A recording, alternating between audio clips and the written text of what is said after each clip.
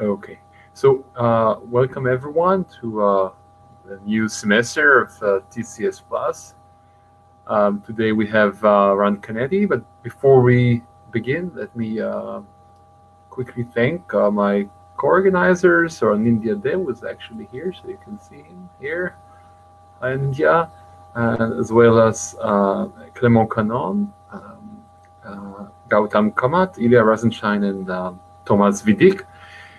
Um, also, I should say before we uh, before we move on, uh, maybe go around the table. We usually do that. We have this tradition. So here's uh, Clément Canonne. Hi, Clément, with a group from Stanford. And here is uh, Irfan Sadeki Azer from the Indiana University. Hello, Irfan. Thanks for joining. Mm. And we have, I think, a new group. Uh, hello, hello uh, Guillaume Rito from ETH Zurich. Everyone. Um, and we have K. Gopalakrishnan with uh, East Carolina University. Hello, everyone. And uh, Oksana, who's joining from uh, Boston University. Uh, she's actually a co-author on this uh, paper, uh, the paper that Ran will present today. And we have, I believe it's Sam McGuire from UCSD. We can't see you, but I believe you're there. okay, so hi, Sam.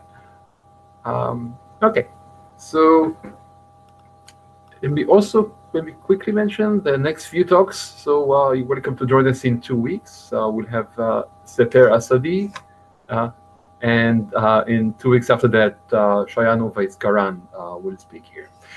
So that's it for introductions, I believe. And so today, uh, as I was saying, we're very happy to have Ran Canetti, and um, Ran graduated from uh, the Weizmann University or Weizmann Institute uh, in 1995 under the supervision of Oded Goldreich. He was IBM researcher um, until 2008. Uh, he then joined Tel Aviv University, where we uh, intersected for some years. Uh, it was fun to have him as a colleague. Um, and he's now partly in uh, Tel Aviv University and Boston University. Um, today he will tell us about fully bi-deniable interactive encryption. So thank you, Ran, for joining us. Please, uh, go thank ahead. you. Yeah. Okay. Okay. Th thank you. Uh, uh, can you hear me? Yes. Yes. Okay. And I think there is a little bit of delay in the uh, in the video, but uh, Never mind. don't move yeah. much. We yeah. won't notice. yeah. Uh, yes. Um, okay. So so thanks very much for for inviting me. Uh, um, so I'm going to talk about uh, fully bi-deniable interactive encryption, and this is joint work uh, uh, with uh, Sunoo Park, which is now learning studying law at Harvard. She just graduated from MIT, and and, and, and Oksana. Uh, Poburinnaya that uh, uh, is uh, soon to graduate from from BU.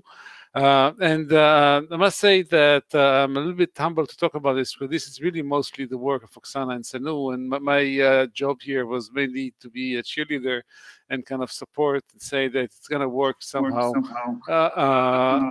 in the many sad moments, but everything seemed to fall apart.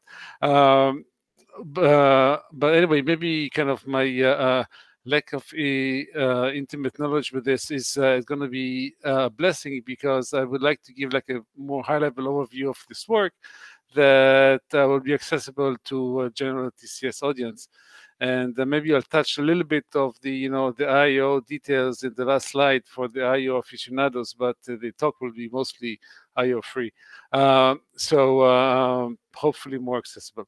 Um, anyway, so so uh, so you know maybe actually another subtitle of this talk is uh, uh, you know the the wonderful things that you can do with obfuscation and uh, uh, hopefully this will kind of motivate more people to actually talk about this uh, work to, to work on this. Okay so but but let me start. So uh, okay okay this works. Uh, so let's go back to uh, uh, uh to crypto 101 uh, or our notion of ideal secure channels right? So so we have alice and bob that would communicate privately and uh they you know alice want you know saying to bob you know i don't feel like doing my homework maybe i want i want to watch a movie and she wants to send it securely so that Bob will, will hear, but nobody else will know what's going on. So the way we know how to do this is to, uh, you know, so to emulate this uh, this uh, uh this uh, lead pipe, we we do encryption, and we know that if we do semantically secure encryption, then gives us the effect of a lead pipe, in the sense that the adversary that listens to hears the communication can learn nothing. Great.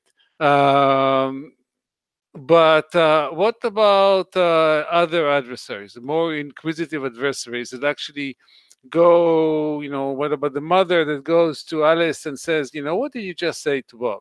Uh, uh, so if Alice really used this lead pipe or whatever uh, uh, uh other physical emulation of it uh, uh, to talk to Bob to the other room, then it can say, look, I, I just said I was studying, you know, what you want. And in fact, then the mom gets suspicious. She goes to Bob, you know, what did Alice say? Oh, she said that she was studying, everything is fine. Uh, uh, and uh, and of course the you know the the mother can be suspicious and try to to to query, but there's nothing that she can learn from the communication except for that. and indeed, you know, furthermore, what if Bob uh, decides to uh, uh, to annoy Alice and say that no, actually say say that actually he actually said she was going to watch a movie, even then Uh, uh, uh, this channel doesn't give Alice, the, the mother, any advantage trying to figure out what really happened, right? Because then she goes back to Alice and Alice says, No, I said I was studying. And the mother can try to play games, but she has no help from the communication to tell her which really happened. Uh, and then you can go on and on so so what we have that that uh, ideal secure channels really give us more than just plain secrecy uh, against eavesdroppers. So uh, so we say that parties can freely lie about what they actually was sent uh, uh, independently of what they actually did. Uh, and and even if parties disagree and claim different values of what happened then the, the channel gives no no help uh, to to this external uh, adversary or external party to to really realize what happened. Uh, and it's of course good, but there's no coordination or play. You know, they want to play against each other.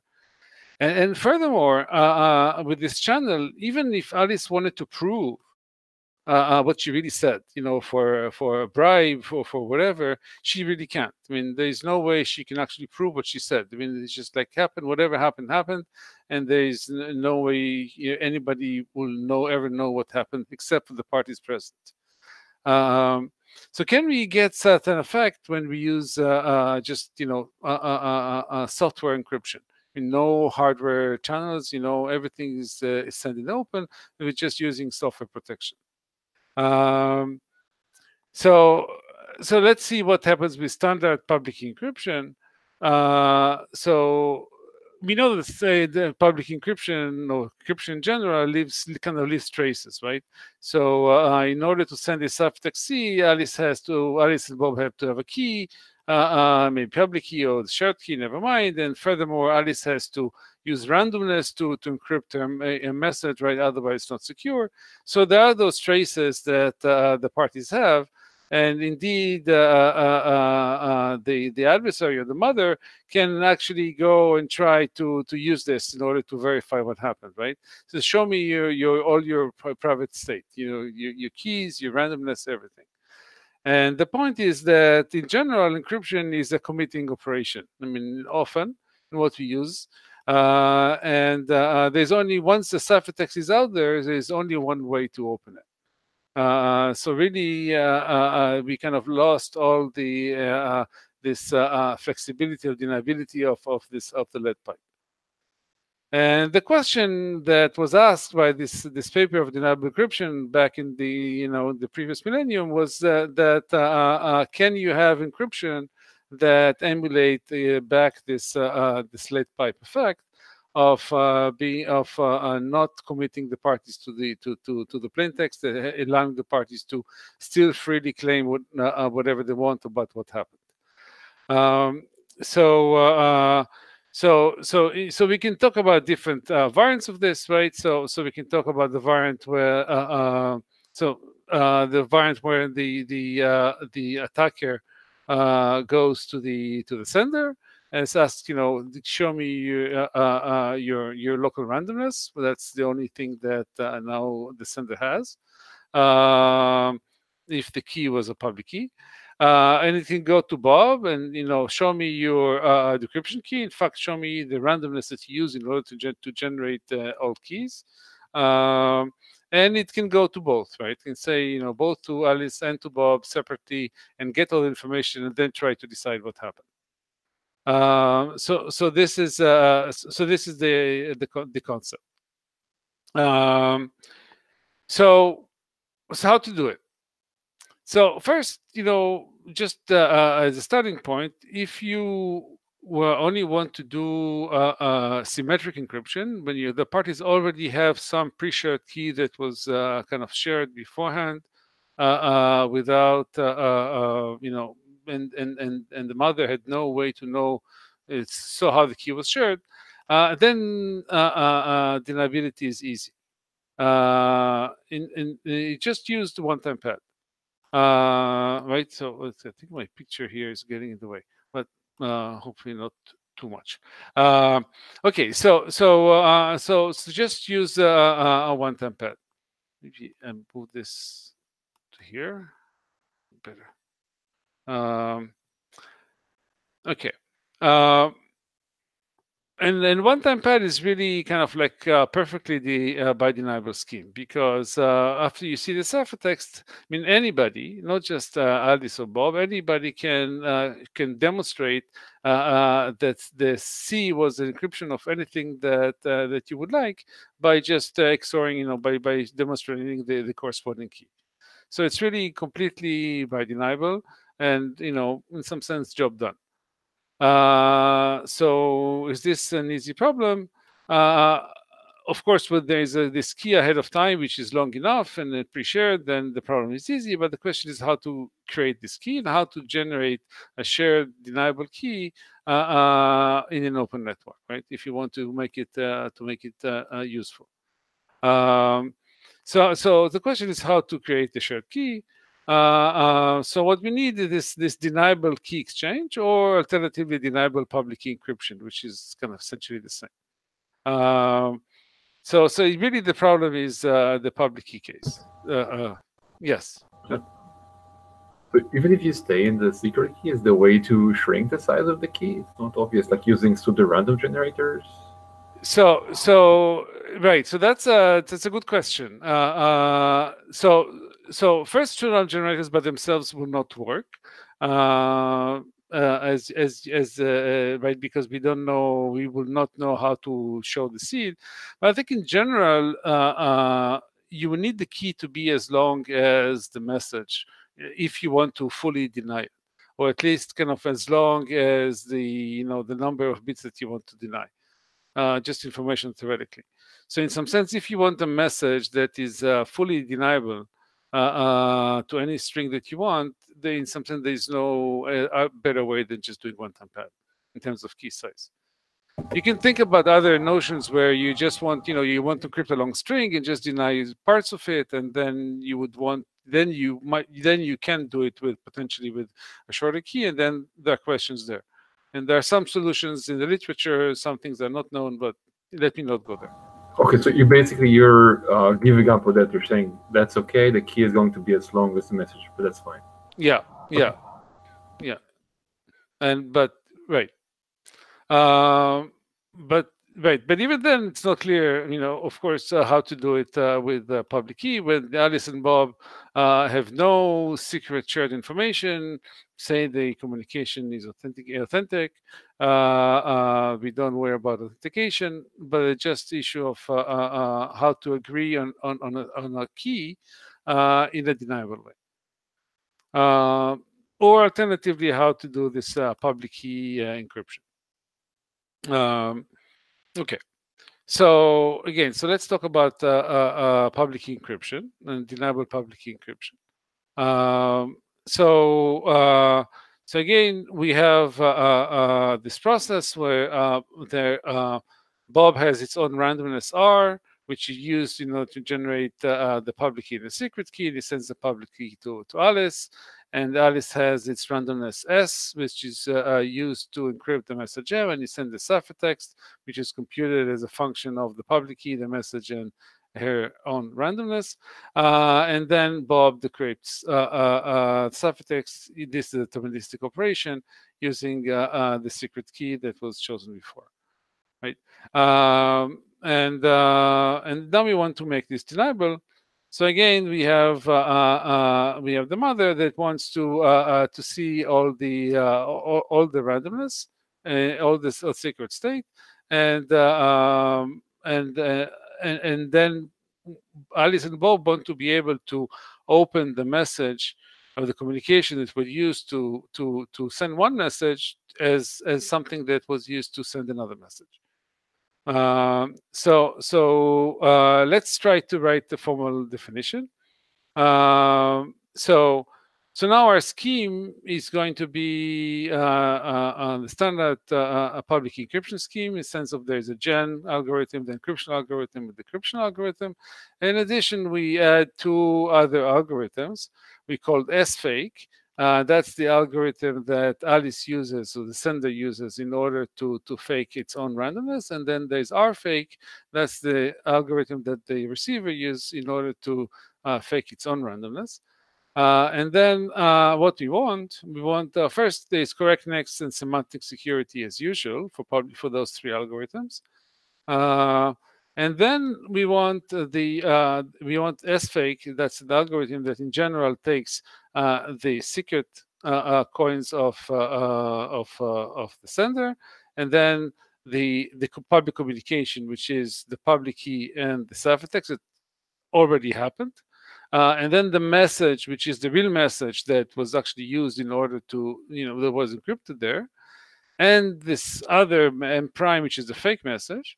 And now this algorithm should output some fake random input for the sender that is going to be consistent with M prime. We'll got to exactly define what this means. Uh, uh, but that's S fake.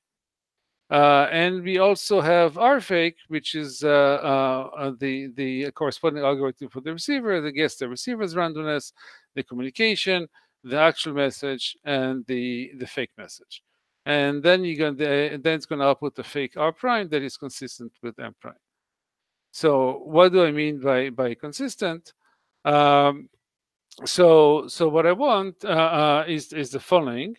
Uh, uh so I want that uh, so for all messages m and m prime, okay, the following two random variables are going to look indistinguishable. And let me describe the processes, how these random variables are being generated.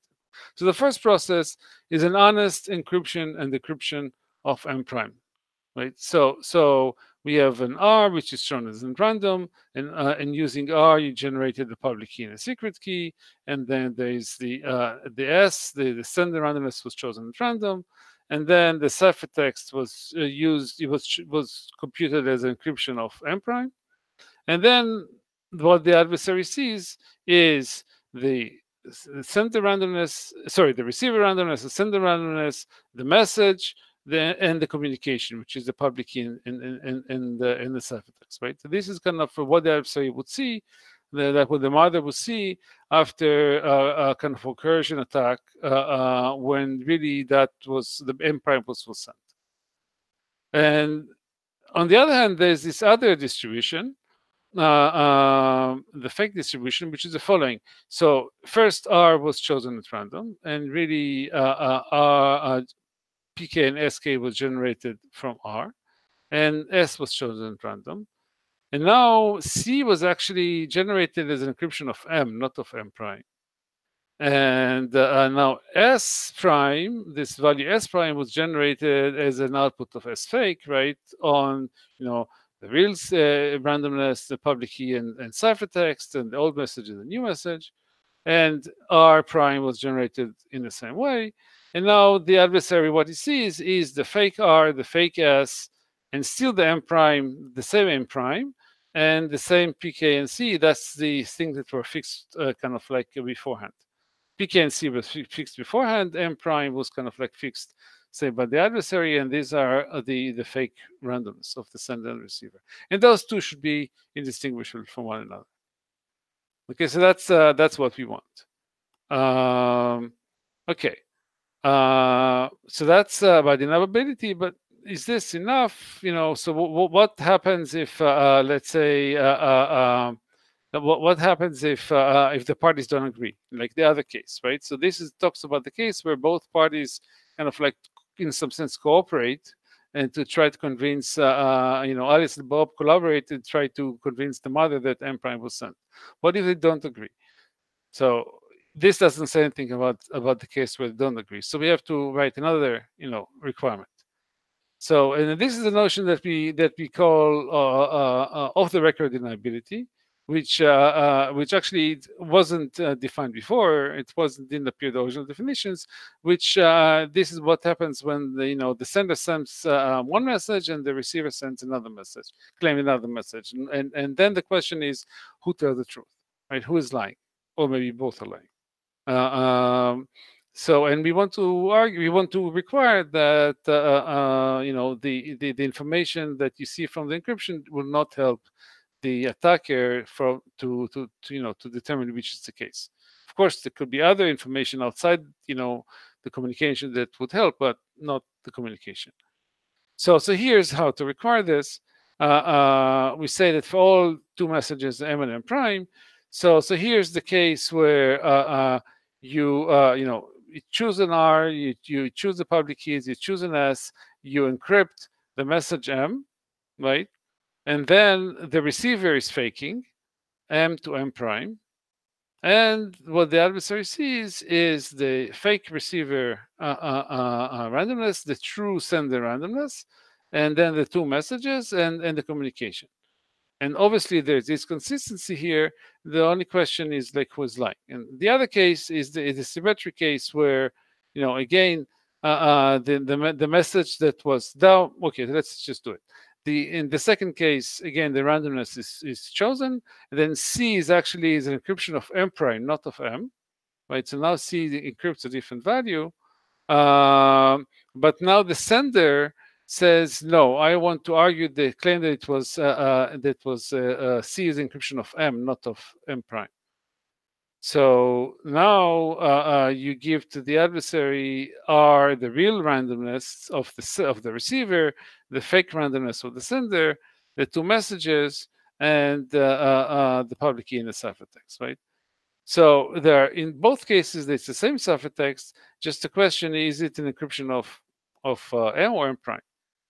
So Alice uh, uh, shows randomness that shows that this uh, uh, uh C was generated as encryption of M, and Bob showed randomness that shows that C decrypts to M prime, and now you should be able to tell which who is right uh, and who's faking it. and and furthermore, there should be there's another case where in fact here I added this M double prime uh, where in fact C was generated an encryption of another one, a third message, M double prime, which is neither M or, nor M prime. And uh, uh, and again, we have this thing that now both of them are lying, and uh, uh, and and and and you know one lies to M, and another one lies to M prime. And and all of these three cases should be distinguishable from one another.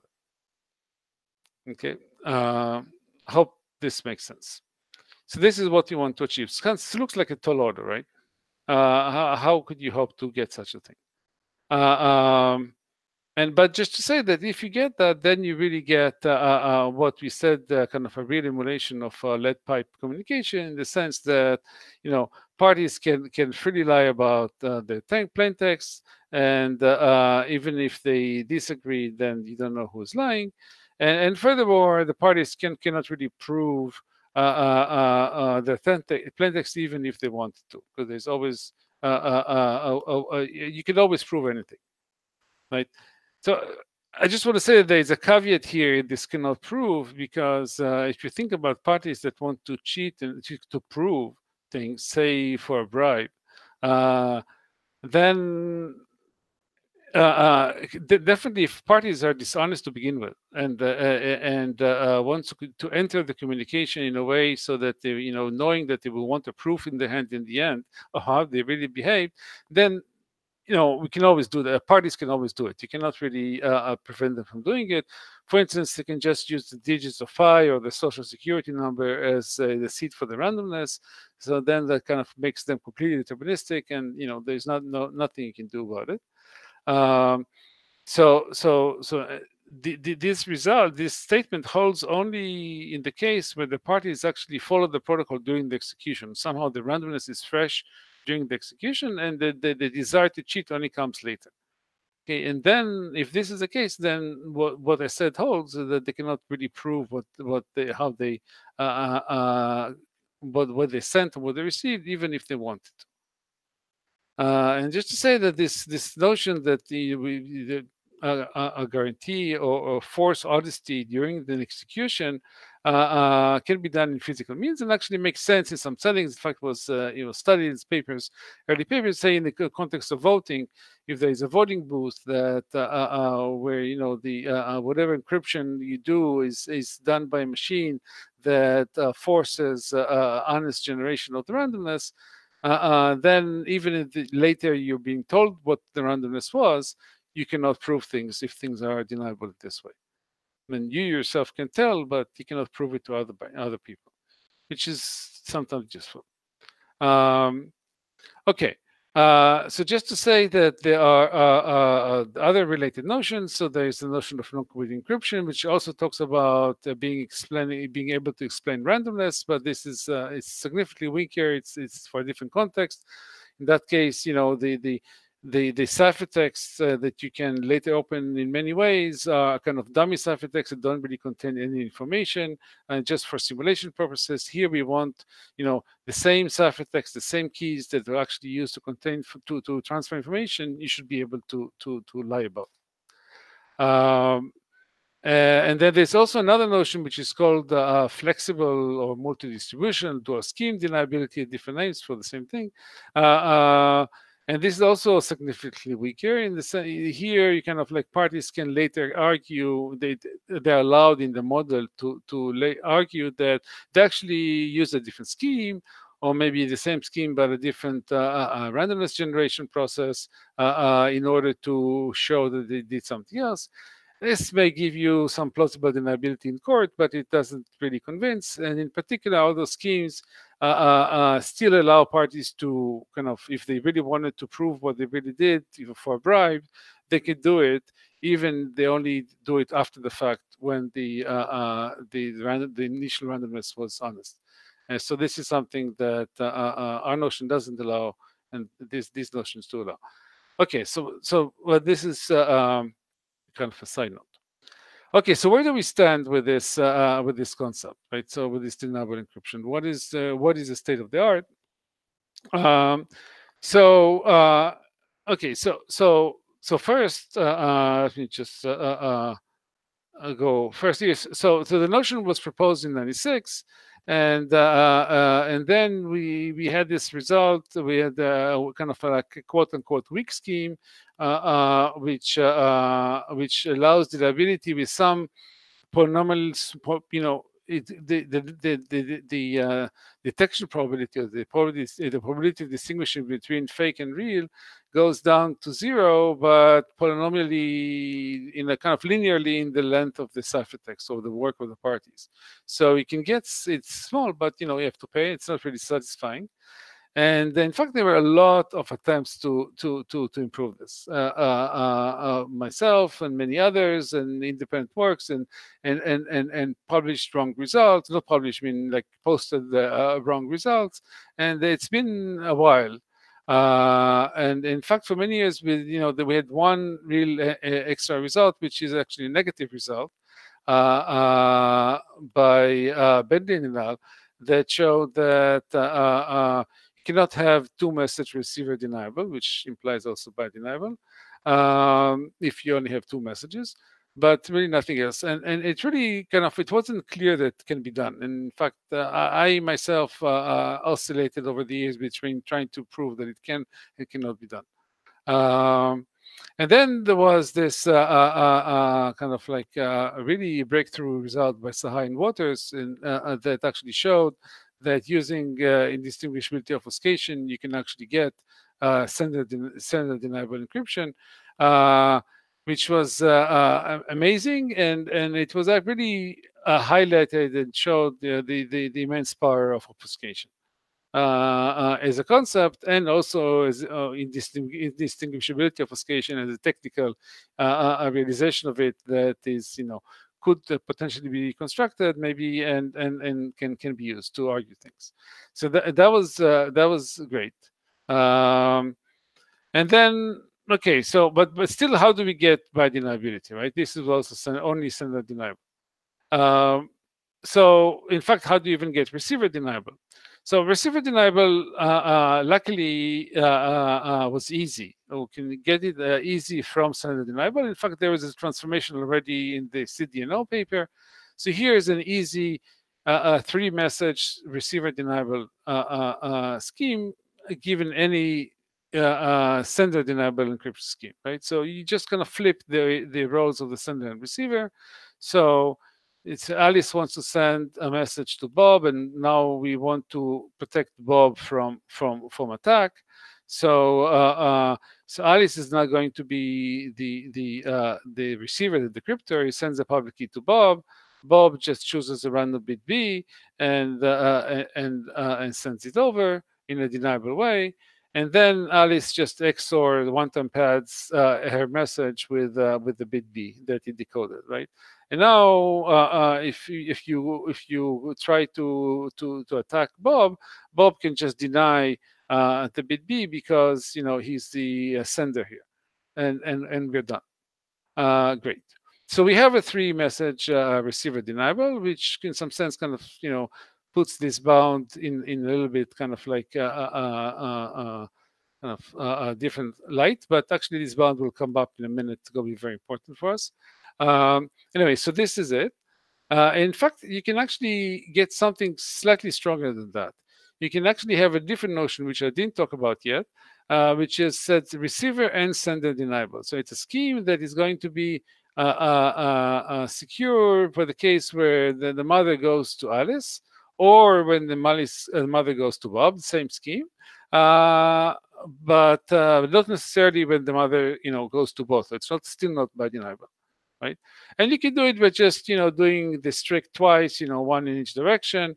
Now we have a scheme that is uh, is deniable for each one of those separately. Uh, but uh, this scheme kind of breaks completely when the mother sees uh, both keys. When you, the adversary gets to see all the keys, things uh, break completely. Which really, again, highlights the how uh, you know how hard it is to do this bi-deniability because now the adversary has potentially complete view of the system uh, which again kind of uh, bring the question: Is this at all possible? Uh, um, so, so, so just to say, so this is again to highlight the fact why this is such a strange animal. So, so in standard, you know, think about key exchange. Standard key exchange, uh, uh, you know, the the, uh, the the Alice and Bob, you know, know the communication. They know some hidden state, and uh, and Alice, uh, the, the sorry, the adversary just see the communication. It cannot uh, see the secret information. Uh, in in in in uh, deniable uh, things, the, the the adversary is much stronger, right? So so the adversary sees both the communication and the hidden state, or whatever it thinks it's the full hidden state, uh, uh, except that it's wrong one, and still it should be unable to tell what is the real hidden state, right? So in some sense, it allows, if if if this is possible, it allows kind of like rewriting of history or parts of, of history of some parts of the system, right? So you can have some parts of the system that uh, something has happened there, but somehow the information there is erased, is never propagate uh, to anywhere else because you can actually later argue anything about what happened, even if uh, uh you know everybody on the outside thinks they see everything. So it's kind of like a strange concept, and it's again, it's not clear that it's possible. However, uh, uh, I would be here if, if it wasn't, and it, as always in crypto, you know, the uh, we can always uh, pull uh, tricks out of hats and do things. So we actually prove it. Uh, so we, we, show we build the interactive encryption, which is bi-deniable and also off the record deniable according to definitions that I said. It is has three messages, which is optimal. Well, it uses sub-exponential indistinguishability obfuscation in one-way functions, and this is kind of less optimal, but it is what it is. Uh, and also, uh, uh um, we use a model uh, uh, with access to to to the parties have access to some public reference string, which is when it's you know it's, it's public, short, global. Everybody, the adversary and the honest parties have access to the same reference string. In fact, what we use this reference string for is just going to be some obfuscated programs. So we're going to have some number, we'll see six obfuscated programs, you know, the same six for all the worlds, for all the encryptions for the ciphertext. Think of it as generated by Microsoft for the office for the IO uh, arm of Microsoft.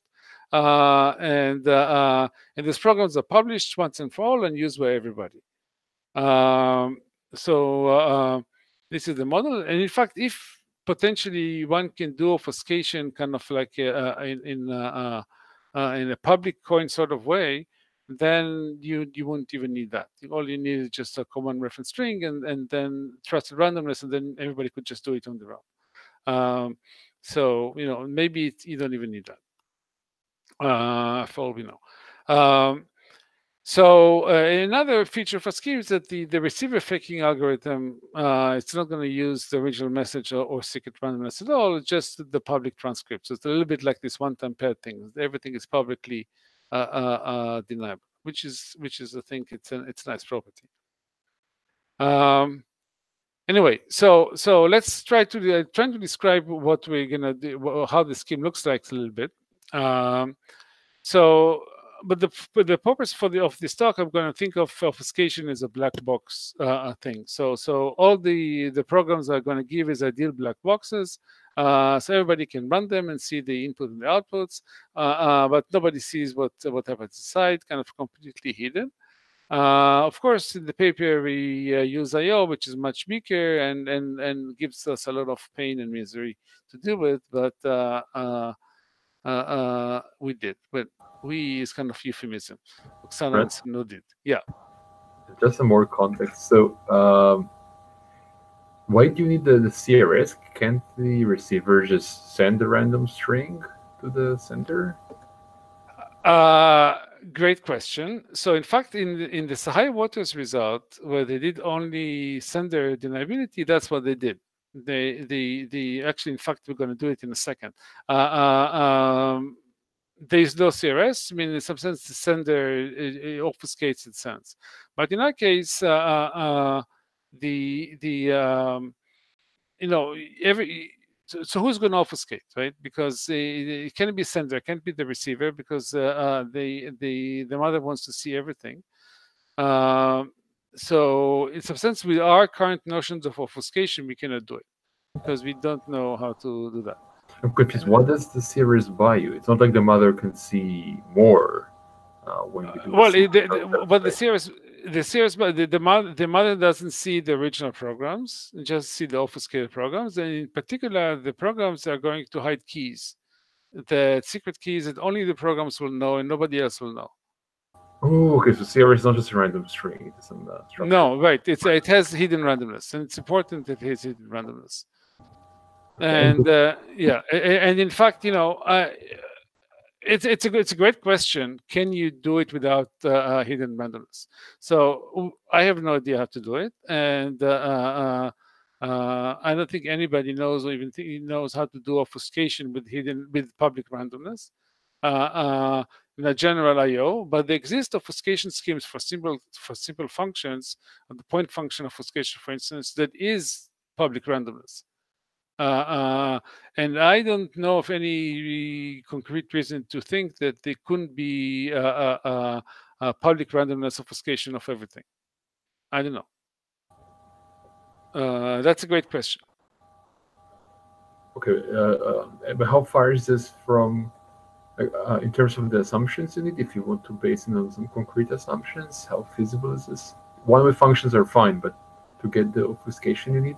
So so the obfuscation you know it's down to whatever we know how to do obfuscation today right? So so today we can uh, do obfuscation from the, the number of candidates out there uh, that you can just assume that they're secure or you can uh, try to to prove them based on uh, kind of different assumptions on specific uh, uh, uh pseudo-random generators and specific I think that's in some sense today in, in one of the avenues, right? So, so uh, they're using uh, uh, bilinear maps and uh, and and generate you know pseudo generators of a, a, very specific structure, and they assume that these are secure. And if you have that, then you have essentially IO. But in general, you know, I, I, I don't care about that. I just use IO as a black box, and whatever other uh, uh, construction you give me that is IO is I'm fine with it. Yeah, so uh, it's a great question. It's a whole general question about IO, and you know, uh, is it legitimate or not legitimate to, to to treat it as a primitive because we don't really know how to construct it from standard assumptions. But it's I think it's more of a philosophical discussion. You know, so uh, somehow now it seems to me less and less or whatever. It's going to be more and more surprising if somebody will prove that uh, io cannot exist. Uh, uh, so uh, uh, we just treat it as, as a primitive and then separate the question how to construct it from how to use it. Um, okay. So so Okay, but but again, for, for, for this talk, for the, for understanding what's going on, I'm just going to think about uh, a black box obfuscation, or even kind of like a, a, a real physical obfuscation, just for for the sake of uh, thinking about it.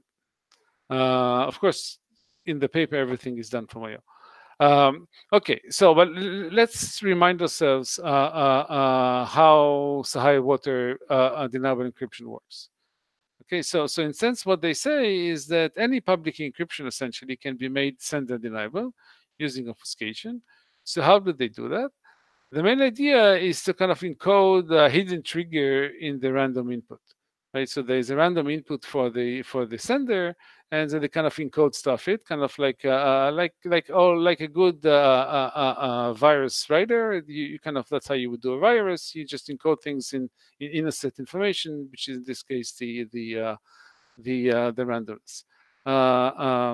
So now you know originally you know there was a public encryption scheme. Now the the the, the public key for the new program is going to be essentially an obfuscated program as we said before that the uh, uh, key generation obfuscated. and this program now has has the following structure. Uh, it has its own kind of like red small key k here that is hidden inside the program and nobody else knows. Uh, and, and, it looks at the gets as input the message and the randomness to send the randomness. Uh, in, uh, but what it does is first checks if the randomness encodes a, a, hidden instruction. Uh, uh, a hidden instruction which means uh, M and C. And if really the randomness encodes M and C and M is the other input, then you're going to output C as your as your output, which is your ciphertext. Otherwise, you're going to do the usual thing, which is just encrypt using uh, M and S, but you know you can't really use the specific S. You have to kind of hash it first. Never mind. Uh, uh, so this is uh, so this is what you do. And of course, uh, for every such a virus, you need a command and control, and the command and control will be the uh, the sfake program, which also will have the same key that uh, that is shared by this one. It will also be part of the public key.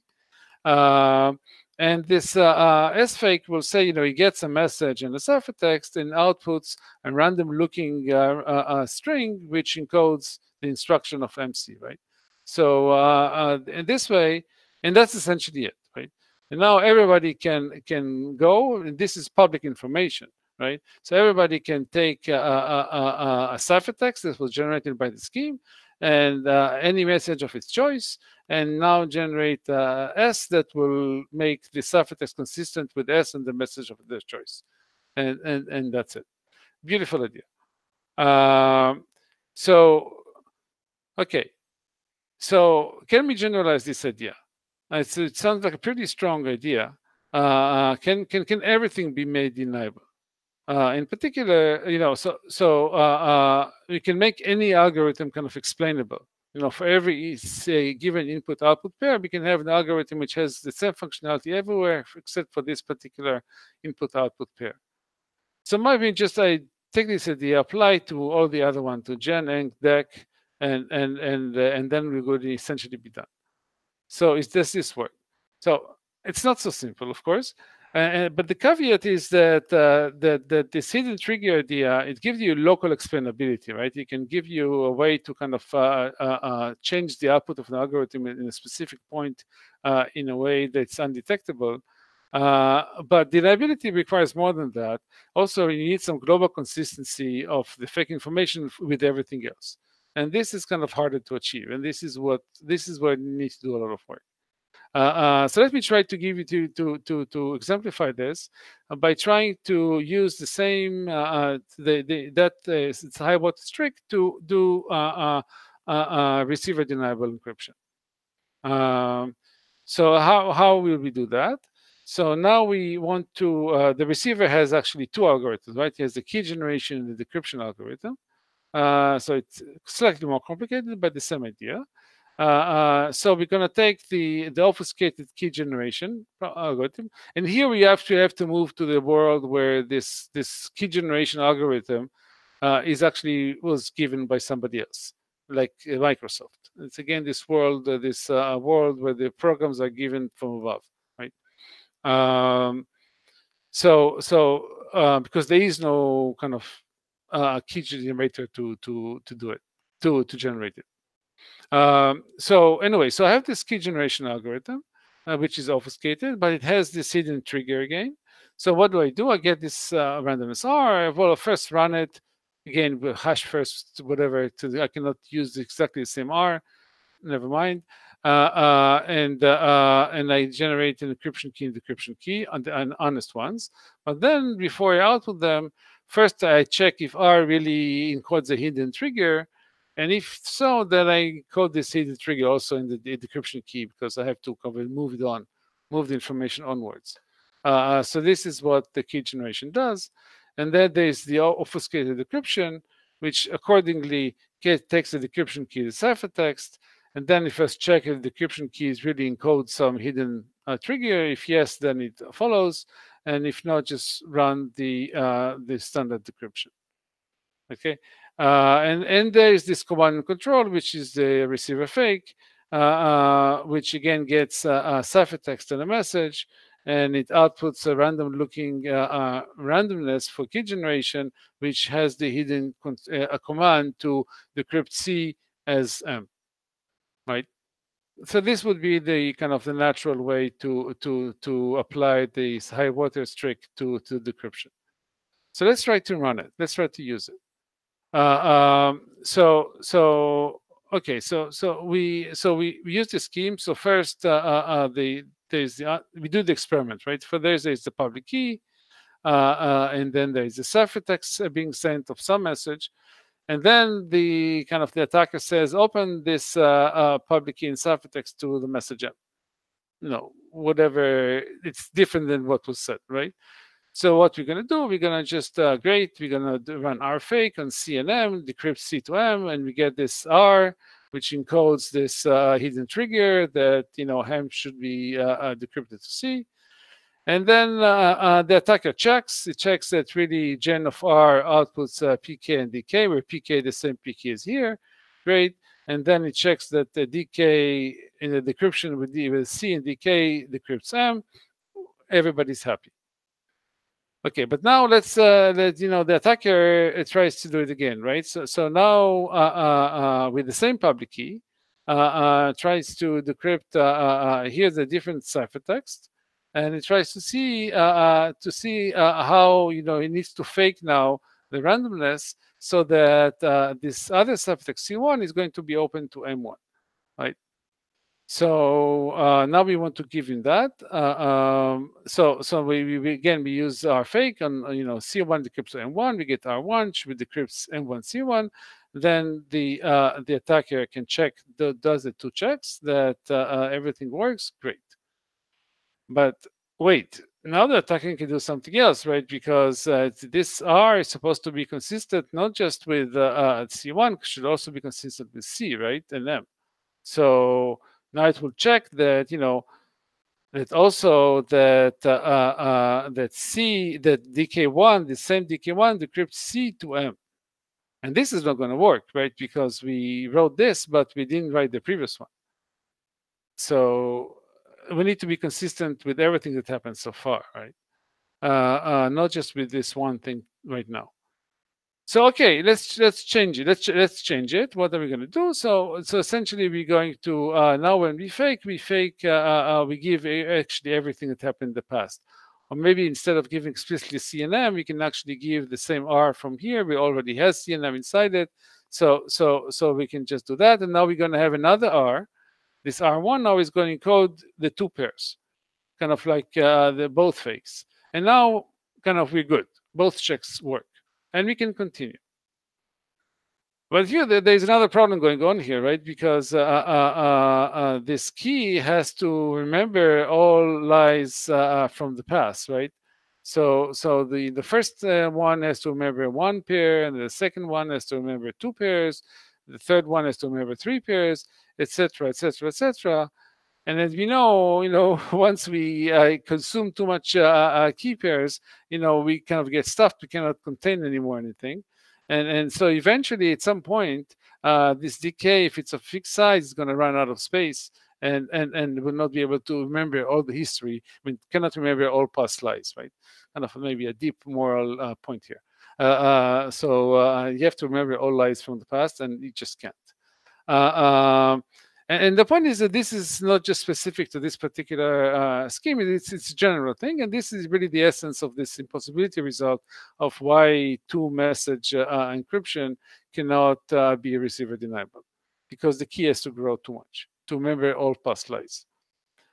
Um, okay, so so we know where you're kind of what you're up against and uh, and but just to say that the crux of this attack is that the uh, uh, the adversary could get a situation where we had the first uh, the same re receiver message, which is the public key in this case.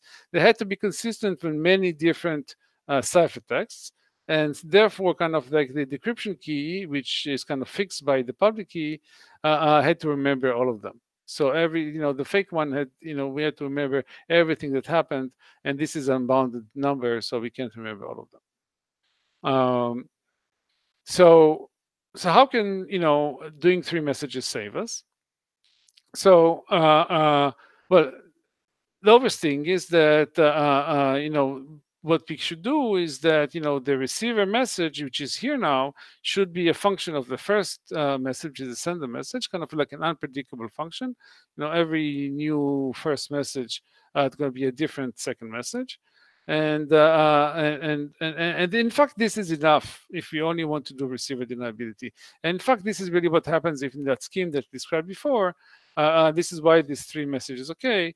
You know, for every new first message from uh, uh, uh from Alice, uh, uh, there's a new uh, message from Bob, and, and, and therefore, kind of this key of Bob doesn't need to remember anything in the past, right? So so so we're good the attack doesn't work.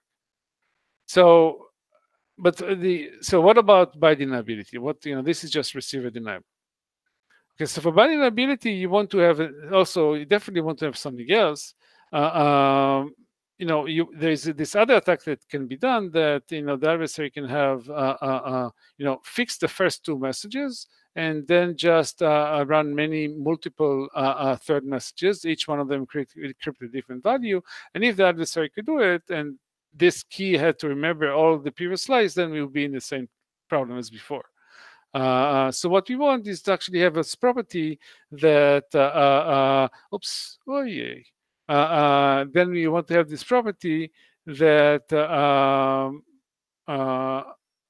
that um, that uh, this, the adversary cannot really do that. I mean, the attacker cannot do that. So, so, so how do we do it? So, okay, so here's here's a way to do it. Uh, and let me just give you now a, a first uh, uh, kind of sketch of the scheme, kind of running out of time, but uh, uh, uh, just do it quickly.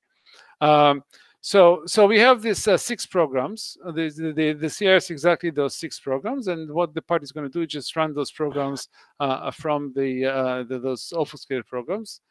And the beginning, uh, uh, the um, you know the the sender it's has a message, is randomness. It sends say some pseudorandom function of with the key that is hidden in the program of of S and M. the the receiver will get uh, uh, uh have its own randomness and it gets the first message and just outputs uh, uh, a PRF of everything that it saw. This is just kind of like to fix those two things, and then and then the third message will just very simply encrypt um, the the the plain text uh, together with those uh, other two messages, just just to tie them, but to bind them all together and and then uh, uh, the the the the decryption. Uh, well, this one will be generate the message only if uh, SM are consistent with uh, message one, and uh, and and that's only when the also when the the the, the decryption algorithm generate the the, the output. So the decryption algorithm will not generate the output unless it sees that everything else is is consistent. It's not said here, but the decryption algorithm also gets uh, uh, all the message from before. It's the next slide. Um, and the um, and and and the S fake and, and R fake uh, uh, will just uh, uh, well let me just not say anything about them right now. We'll get them in a minute. And this just to say that this encryption has to be deterministic. Okay, so so uh, the hope that we want to get in this case is that uh, uh, the the third message kind of like is fully determined, uniquely determined by the uh, the first two ones. In some sense, all the information here in the third message already exists in the two ones, so it can be uniquely determined, and uh, uh, and that's that's the hope that the only there is one message once those two messages are fixed, the only one third message that could potentially be decrypted, and therefore we would be good. So it would be great.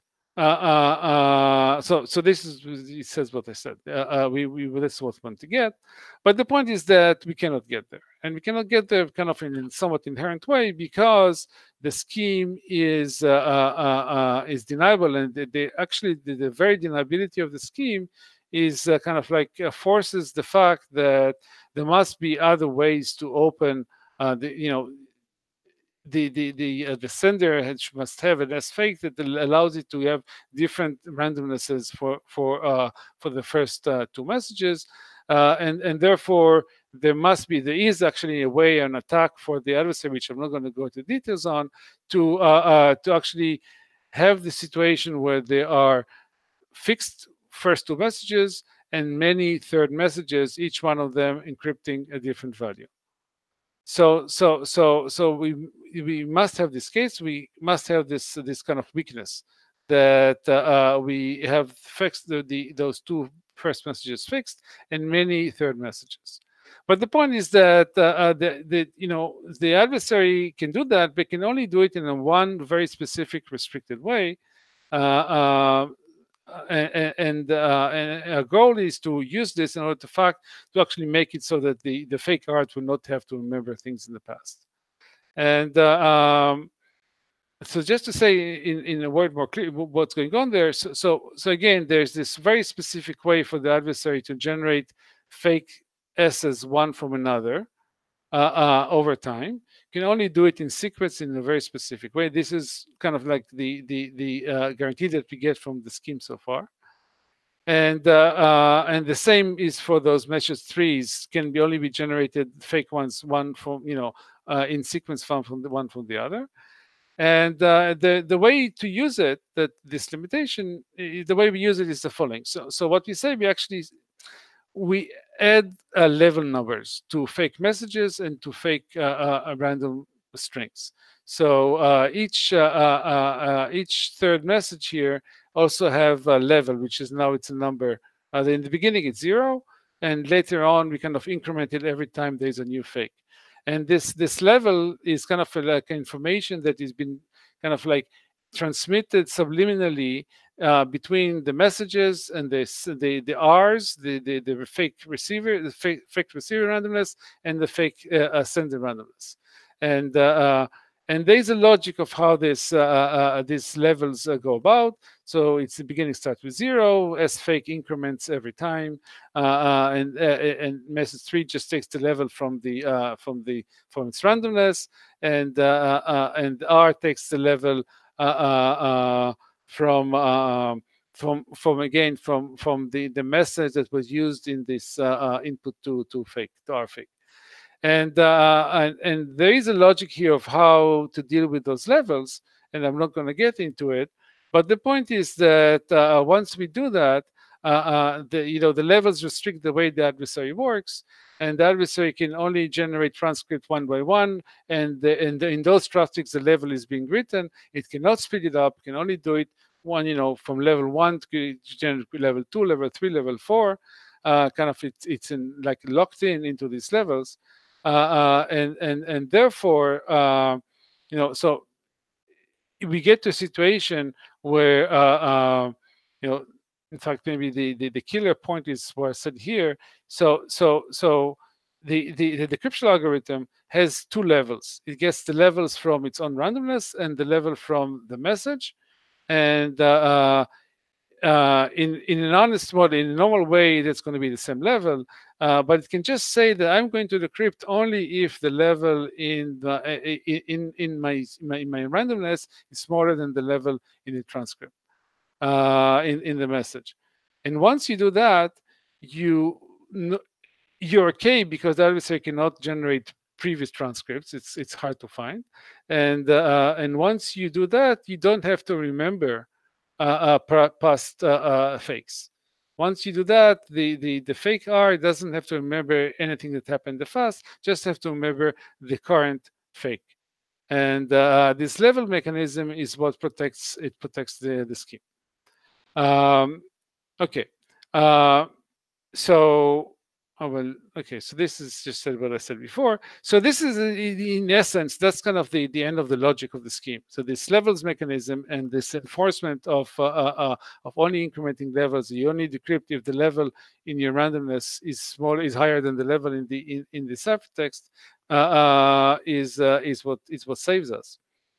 Um, and um, and the, that's essentially it in some sense on, on the kind of the level of, of high level design.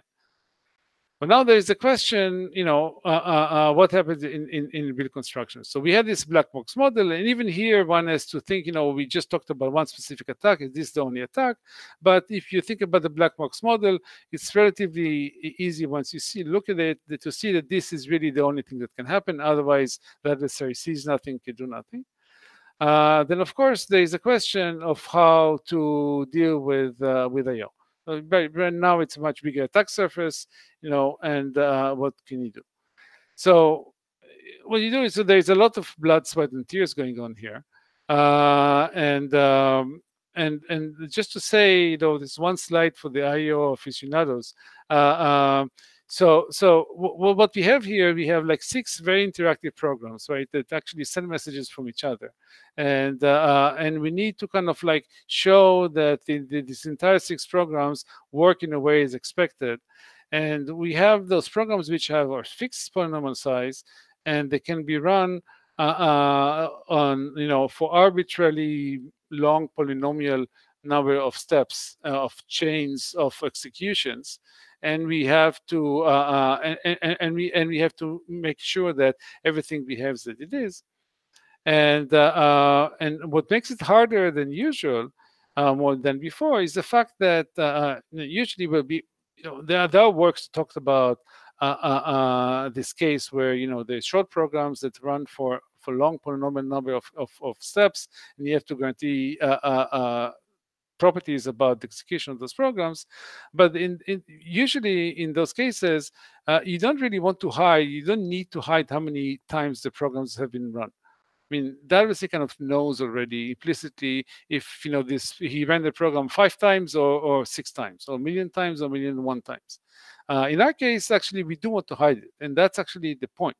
The point is to hide the level because you don't want the adversary to know whether you know the the the, the randomness that it got at the beginning was an honest one, which means level zero, or a fake one, which means level one. So uh, uh, and uh, so and the, the adversary should just continue running this thing and the whole thing should behave the same regardless of whether the level in the in, in the, in the randomness was zero or one so you want to hide the level uh, and this is something that uh, uh was not done before that causes a lot of problems in particular we need to use tricks like uh, uh tricks that uh, were used in the works for the end of the line hardness from IO uh, uh, uh, we, we have to use this, the, the techniques used there um, of um, Bitansky, Paneth, and and, and Rosen.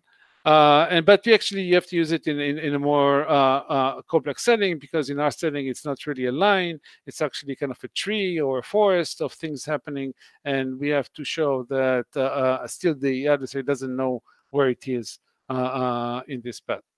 Um, so, uh, but anyway, so this is what we need to do. This is we do. This was a lot of blood, sweat, and uh, tears to do it, which actually brings me to uh, to the takeaways.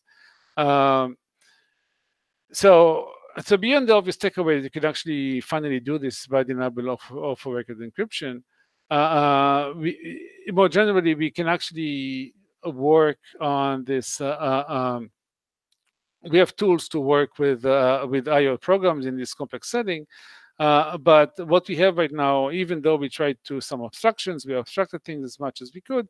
We really, uh, uh, uh or, Oksana and Sunoo, you know, uh, spat a lot of blood in order to to do it. It's very complex and subtle, and somehow my takeaway from this is that in order to fully exploit this power of IO in, in more complex settings, we really need uh, more abstractions, techniques, and tools that kind of like allow us to do things in a more uh, uh, uh, uh high-level way that still preserves, you know, correctness and soundness, uh, rather than work in assembly all the time. Uh, kind of some some program programming language abstractions that actually are your friendly. Uh, uh, we, we need that. Uh, and given that IO is such a powerful thing, and we can do such cool things as this with it, you know, we should be able to to develop the technology to do it. Um, so that's uh, uh, so that's one takeaway. Uh, another takeaway, which is again more going to the uh, takeaway of, of the actual uh, problem at hand, which is the, the, deniable encryption. So the natural question is, what about computation, secure computation? And now you want to get uh, with our works about deniable or, or non uh, uh, uh um, incoercible secure, secure computation, but you know what we know is limited, and potentially we can do much more now with these techniques. So uh, you know we can talk about different questions about you know multi-deniable multi-party computation, of the record multi-party computation. Uh, uh, and there are lots of questions, even formulate equations, what it is that we can cannot do. Uh, I think it's kind of open season. Lots of questions there. Uh, uh, a lot of future work. So I think that's it. Thank you, Ran. Any more questions? Maybe let me maybe let me ask you one question. Uh, do we is it known if uh, say bi-deniable encryption implies I/O? Is it is it necessary to have I/O? A great question. Uh, so uh, uh, uh, I don't know. So in fact, you know, you can even ask the question. Um, but I don't know. For bi-deniable, it's a stronger variant. But the the I know my, me myself and others are trying to do now that we know deniable encryption from IO, can we do it without IO? There are many other primitives out there, right? You know that we the beginning we just knew what to do from IO, or later we can do without. I think we just lost a voice from you, but uh, I heard everything until the last word. Um, ah, sorry, sorry. It's me. Uh, yeah, it's me. Sorry, I muted myself. Uh, can you hear me now? Yeah, no. Okay. Uh, so, so, uh, uh, so I was saying, so, so even uh, you know, just just a sender deniable encryption to do without IO, we have no idea how to do it. uh, even though it's a great question. I mean, there's nothing that suggests that it would be necessary. I don't know. I mean, the, the, the more complex you get, then maybe IO is necessary. But um, I don't know. It's a good question. Uh, I, I don't even have an intuition. In some sense, it is the quintessential application of, of obfuscation. It is ability to to kind of insert hidden triggers into programs and do whatever you want to kind of modify them like that.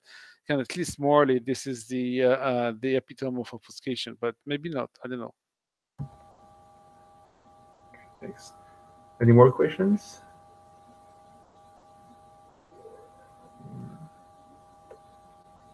Okay. I'm going to take us offline, but you're welcome to stay